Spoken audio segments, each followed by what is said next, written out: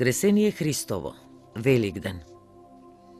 Великден е главен христијански празник, прв и најстар од сите празници, основа на христијанската црковна година. Великден го слави Христовото воскресение, кое е основа на христијанската вера, затоа што, како што вели светиот апостол Павле, ако Христос не воскреснал тогаш, празна е нашата проповед, празна е и нашата вера. За време на своите проповеди помеѓу народот, противниците на Исус постојано барале погоден момент да го фатат и да го казнат.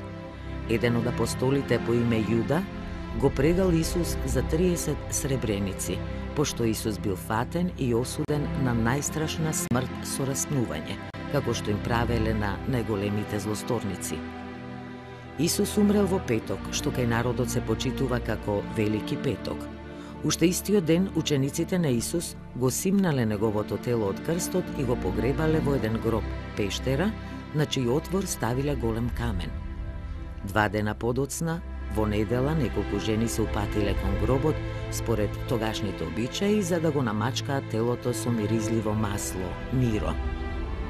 Кога пристигнале кај гробот, виделе дека тешкиот камен е поместен. На каменот седел ангел во бела облека кој им рекол не бојте се.